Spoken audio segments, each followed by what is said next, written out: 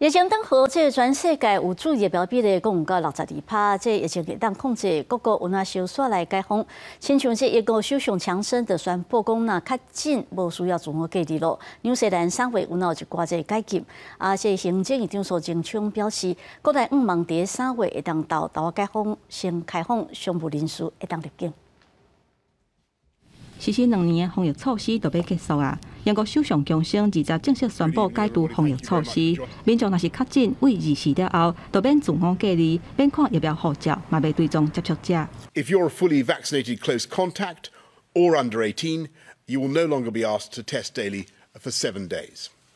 And if you're a close contact who is not fully vaccinated, you will no longer be required to self-isolate. 伫南半球的纽西兰，持续有民众抗议政府的疫苗强制令，有示威的活动，而且伫咧国会外口，甲警方爆发冲突，有八个人互抓起来。纽西兰总理阿尔登宣布，等我三月底奥密克戎疫情高峰期过了后，会解除疫苗强制令甲社交距离的措施。We all want to go back to the way that life was, and we will. I suspect sooner than you think. 英国宣布会完全解封，确诊者免隔离，会当出去买物件、搭大众运输工具甲上班。澳洲嘛，为二一开始对外国旅客开放边境，完整做过疫苗的人都免隔离。因啊日本是缩短居家检疫的规定，开放商务甲留学生入境。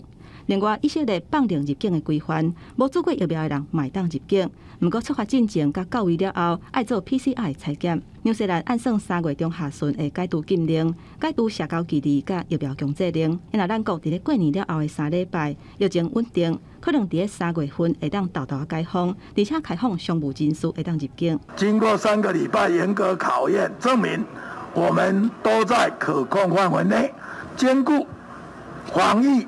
及生计生活，我们逐步解封，让大家恢复正常生活，同时让商务人士能够进来。苏贞昌强调讲，第二日的扩大防疫会议已经要求指挥中心都要兼顾防疫甲生活，豆豆解封，让大家一旦恢复正常的生活。记者综合报道。